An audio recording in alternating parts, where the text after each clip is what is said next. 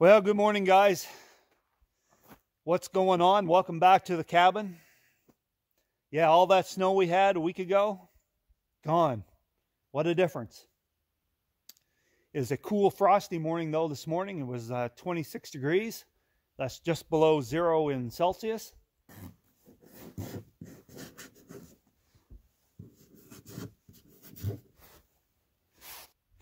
And uh, today, I'm going to, first thing we're going to do is we have to get on the ATV and we're going to take a ride out the road. I want to check the road condition. The road was getting really uh, uh, muddy and uh, I want to get out of here today because um, I do want to upload this video. I can't do it here. I have to leave. I have to go to town if I want to upload this video. So I want to check the road condition to make sure that it's uh, I can drive out of here without uh, without getting stuck. Yeah, so self-isolating is going well. You know, I think as another YouTuber said, uh, it's one thing to be uh, to choose to self-isolate. It's another thing when you're kind of forced to. Uh, but I think we are seeing a light at the end of the tunnel. I don't know how much longer this is going to last, but uh, I think there's some light at the end of the tunnel. I'm really, I'm feeling hopeful and I want to feel positive that uh, life for everybody can go back to normal, I hope, real soon.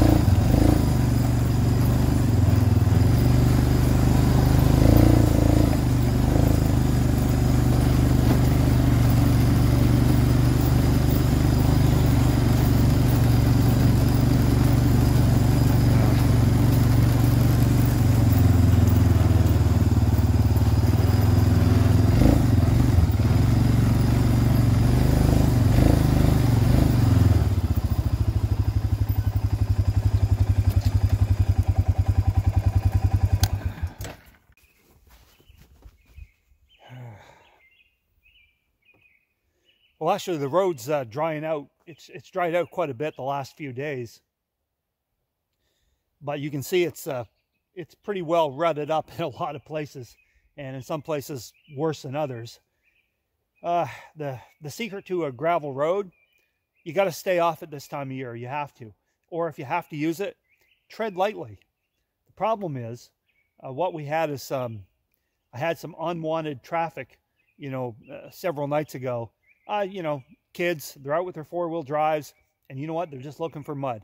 So uh, instead of staying, you know, over to where it's it's kind of dry, they go for the softest spot, and then they just, of course, you know, they just they just tear it all up. They're looking for mud. It happens. It happens every year. Uh, not much you can do about it. it I've seen it a lot worse. And uh, not this year, but in years gone by, you know, sometimes you'll hear a knock on my door in the middle of the night, and it'll be a, a couple of kids. Can you help us out? We're stuck.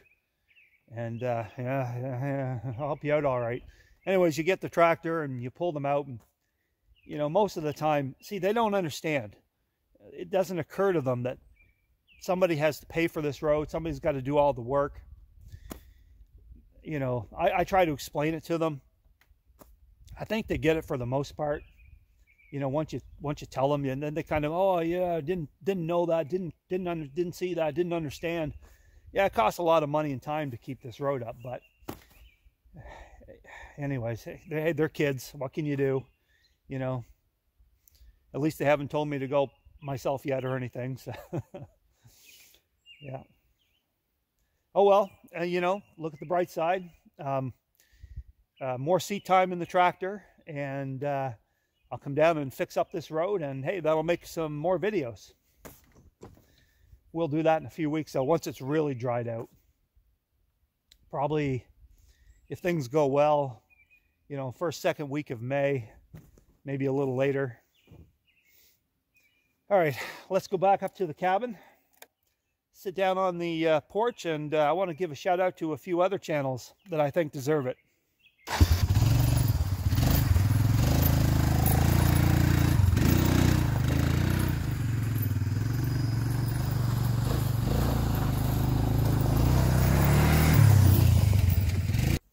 Uh, there we're back. Uh, by the way, um, in case anybody's wondering, uh, I can't gate the road off. I'd like to gate the road off, but I can't because the road is actually a property line and it divides up different properties. I do have my driveway gated off, but the road itself I can't gate. Uh, can't get all the landowners to agree, so it is what it is, and that's the way it goes. What a beautiful morning. Beautiful. And it wouldn't be a beautiful morning without bacon. and, uh, but I'm just going to eat fast today because I got a lot to do. So it's uh, bacon in a bag for me.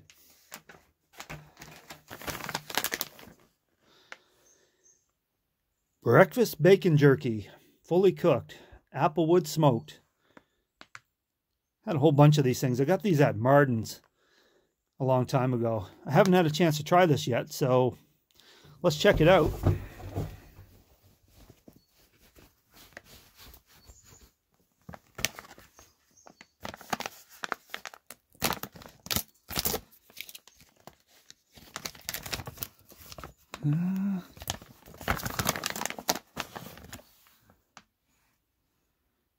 Looks like bacon.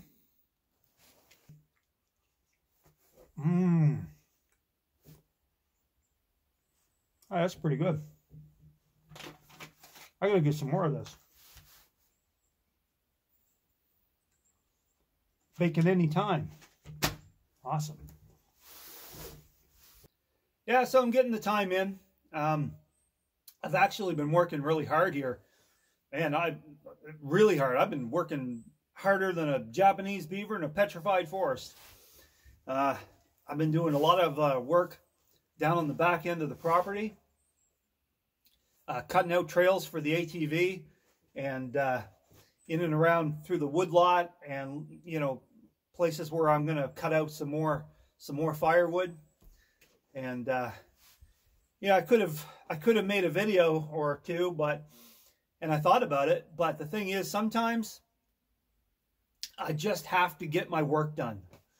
And uh, if you're thinking about videos, you're not going to get your work done. Well, you'll get it done, but you're going to get it done slower because you're you're more concerned about the videos. So I just said, forget the videos for now. I want to get my work done because I am in a race against time because uh, this is beautiful weather for working in the woods. And in no time, the black fly will be here. And man, they take all of the fun out of being in the woods. So, um, I did want to make a quick video though, and uh, uh, just uh, tell you guys what I'm up to, and uh, wanted to give a shout out to a few other channels that I think deserve it. Uh, you see, um, and I'm just talking about this genre. We'll call it the off-grid, outdoor, cabin, whatever genre. YouTube, it's it's like a pyramid, right? And there's only so much room up here at the top. And, you know, these are the really, really big channels way up here. And as you get down in the pyramid, there's a lot of channels and there's so much content. And I think there's a lot of good content. Um, down here in the pyramid. And uh, I don't know why some, some channels take off and some don't. I don't know. But, uh, you know, personally, my preference, I enjoy watching these channels down here more than I do at the top. Actually, I don't even watch the really, really big channels at all. Um, I prefer these channels because the content is real and the people are real. And I, this is just a personal thing. I just like watching real people doing real things. And, you know, you watching this, you may like to watch something different. I don't know. Everybody has a different taste. But me, I like watching real people do real things. And I know uh, that these people are real. And, uh, well, okay, are you saying that the people at the very top are not real? Yeah, well, they are, but anyway, uh, I prefer down here. And the reason, the reason that I um, don't really watch those really big channels is because they're so highly produced. And for me, that takes away from it being real. Um, you know, I know it seems like, you know, it could be this guy or whatever living in this, you know, simple life in a off-grid cabin, but yeah, you know, you really have to stop and think about how much money is coming in. and I'm talking about the really, really big channels. If you knew how much money they were making, it would literally scare you. I mean, there's so much money involved. And listen, reality, the reality is they're very entertaining to watch because they're so highly produced or whatever. But that's just, to me, it, it loses that feeling, that raw feeling, that real feeling. Because you know what? Those guys at the very, very top, their primary focus isn't their life or at the cabin or their work or whatever. It's videos, it's YouTube, it's making money. There's so much money on the line. You know, it's kind of like what I just said. You know, I just spent the last few days, you know, working in the woods, and that's my primary mission. I got to get my work done, and making videos is great, and I love doing it, but it's kind of a secondary thing. Um, but up at the top, it's their prime, it's their only thing because they're making big money. And, uh, you know, I mean, they have equipment, they have cameras worth more than my truck. And I'm sure of it. And, uh, you know, they've got, um, I know they, they would have to have assistants and uh, they probably pay editors. You would have to. You wouldn't have the time to do it all by yourself. Some of them run more than one YouTube channel full time. Plus, they run PayPal, Instagram, Patreon, Twitter, Facebook, merchandise, websites. You just can't run all of that stuff and, and do anything else. You are a full-time businessman because this is a full-time business. I'm just saying that's exactly the way it is. I'm not trying to say anything negative about, you know, these channels. I'm just trying to say it is what it is. It's a production and it's a big, there's a lot of money on the line. Okay. So when I watch these channels that are further down, I'll call it in the pyramid, I know that it's a real person doing real things. And if I comment and they actually reply, then I know it's them that's actually replying to me. Oh, those big channels, you don't even know if you're lucky enough to get a reply. You don't even know if it's them replying. Maybe it's their assistant. They don't have time to go through thousands of comments and for every video that they produce. I don't believe that for a second. I don't know where you would get the time. Anyway, enough about that. I'm just kind of trying to, you know, I'm not trying to say anything negative about anybody. I'm just trying to explain why I like these channels down here. So without any further ado, let's get to the shout outs to these channels.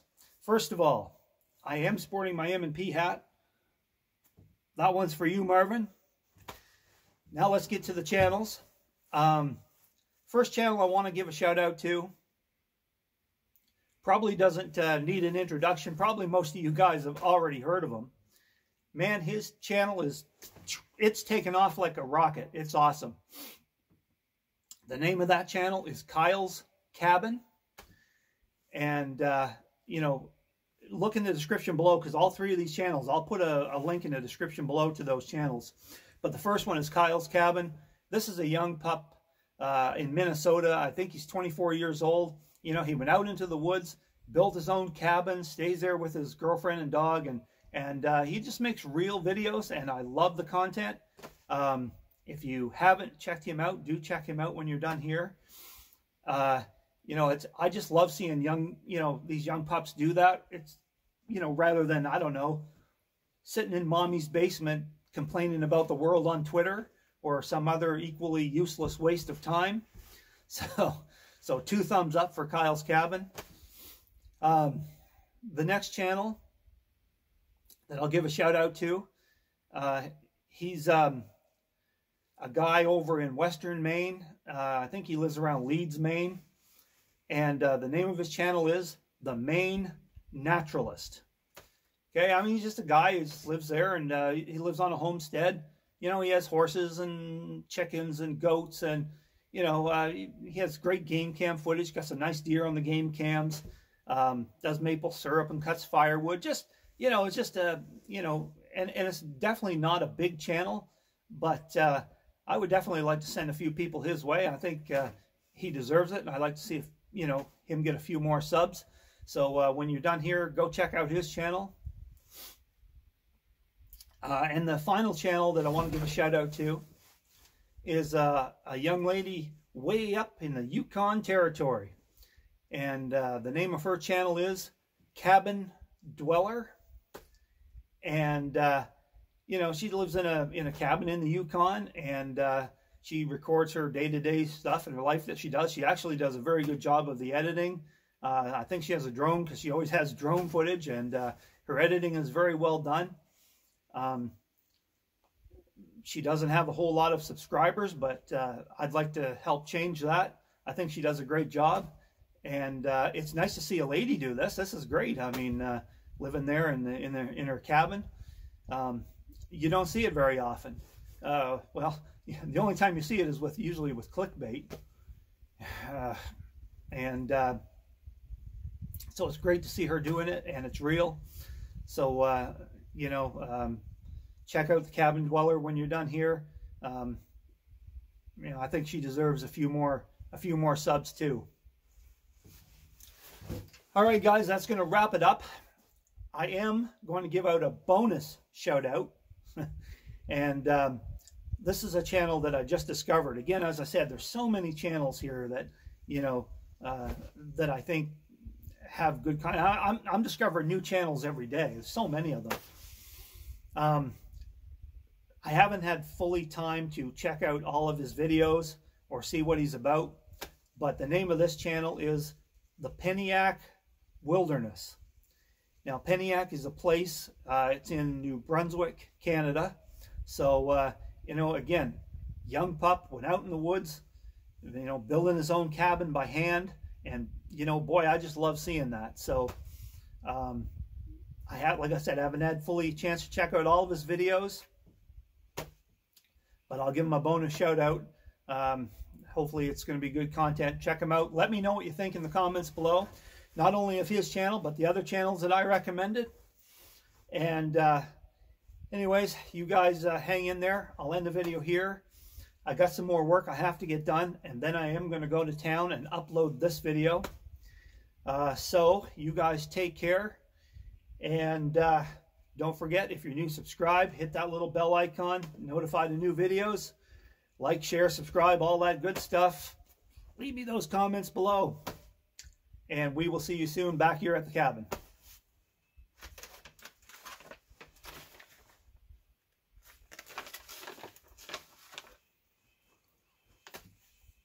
Mmm, bacon in a bag. Mm -mm -mm.